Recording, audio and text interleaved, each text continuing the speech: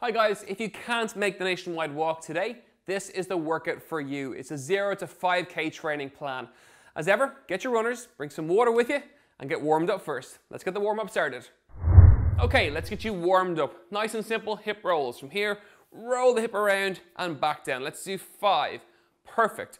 Four, big circle now. Three, that's it. Two, and one. Shake it out, opposite side. For five, four, that's it. If you're unsteady, hold on to the wall, hold on to a chair, or even your running partner, hold on to them. One more, and one. Shake out the legs. From there, some simple knee rolls. Feet together, hands on the knees, roll the knees around for five, four, nice and slow. Three, two, and change opposite side for five. Good. Four, three, come on, two more. Two, and one. Shake out the legs, loosen up the hips. Feeling okay? Good. Let's go for the upper body. From here, feet together. Shoulder roll back for five. Big circle, nice and slow. Four. That's it. Brilliant. Three. Two more. Two. One to go. And one. We're going to go forward for five. Four. Good. Three. Two more. Two. And one. Shake out the legs. Shake out the arms. Okay, we're good to run. For today's session, it's very simple. It's a three minute walk, a one minute jog, and seven repeats in total. Hold on, you got it? Three minute walk, one minute jog, and seven repeats, a total of just under 30 minutes. Get your runners out the door and off you go. Hope you had a great run. Now it's time to cool down. Very simple. Let's start with the hamstrings at the back of the legs.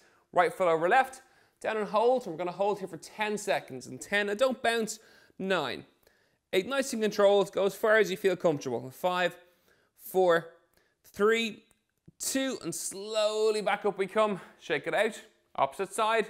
That's it, nice and slow down and hold. Get a lovely stretch from the bum right down to the back of the hamstring, even into the calf. Let's hold it there, don't bounce for five, four, three, two, and slowly back up. Okay, quads from there, the front of the legs, right hand onto right ankle, and hold in that position there. If you're shaking, hold onto a person or a wall or even a chair will do. That's it. Keep holding it for five, four, three, two, and one. Shake it out.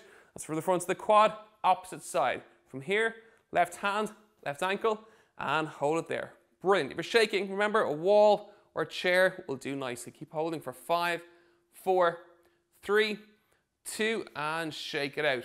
One for the upper body, right hand across the body, left hand to the elbow, and pull the arm towards you. We're going to hold it there. Lovely stretch in the shoulder and across the arms as well. That's it in five, four, three, two, and opposite side, shake it out. Hands comes across, arm to elbow, and pull it towards you. Brilliant. That's it, nice and relaxed. Hard work's done, we'll get the cool down done, then you're finished.